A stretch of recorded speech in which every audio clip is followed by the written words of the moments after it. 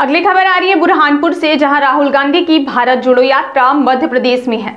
बावन साल के राहुल रोज 22 से 24 किलोमीटर चलते हैं। उनके साथ 75 साल का एक जवान भी रोज कंधे से कंधा मिलाकर चलता है।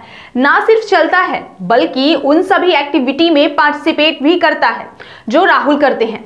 ये शख्स है भारत जोड़ो यात्रा के संयोजक दिग्विजय सिंह। दरअसल हाल ही में कांग्रेस की सीनियर लीडर जयराम रमेश ने दिग्विजय सिंह को राहुल गांधी के बाद भारत जोड़ो यात्रा का सबसे युवा यात्री बताया था, जिसके बाद उनसे 75 किलोमीटर की उम्र में युवाओं को चुनौती देने वाली एनर्जी का राज पूछा तो वे चिर परिचित अंदाज में बोले, पहले सवा रुपए का प्रसाद चढ़ाओ, गुरु बनाओ, फिर जवाब मिलेगा। हमने लाख कोशिश की, लेकिन हर बार दिग्विजय कोई शर्त रख देते, कुल मिलाकर जवाब नहीं मिला।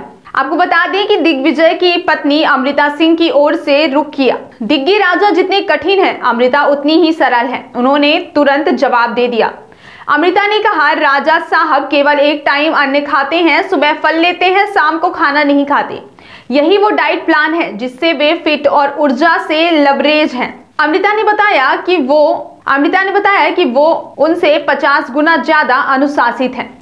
वे हमेशा उनसे पहले सोकर उठते हैं, नियमित योग और प्राणायाम करते हैं, बिना पूजा किए अन्य का एक दाना ग्रहण नहीं करते। यही अनुशासन और व्यायाम उन्हें फिट रखता है। इसी से उन्हें ताकत मिलती है। अमृता ने बताया कि उनका काम पत्नी के रूप में उन्हें मानसिक संबल देना है। वे अपनी तरफ़ से भरपूर कोशिश करती हैं कि घर में सब कुछ अच्छा माहौल मिले। वे अपने खाने से कम विल पावर से ज़्यादा चलते हैं। भारत जोड़ो यात्रा के दौरान दिग्विजय की एक और खूबी उनके पुराने साथी पूर्व केंद्रीय मंत्री जयराम रमेश ने बताई। जयराम ने बताया कि कैंप में सबसे पहले दिग्विजय ही जागते हैं। वो भी ठीक चार बजे। दिग्विजय जागने के बाद अपने तमाम साथियों को व्हाट्सएप मैसेज भेजकर बताते हैं कि वे जग गए हैं और तैयार हो रहे हैं। दूसरे साथियों को भी दिग्विजय ही जगाते हैं। हमेशा मेरे से पहले उठ जाते हैं।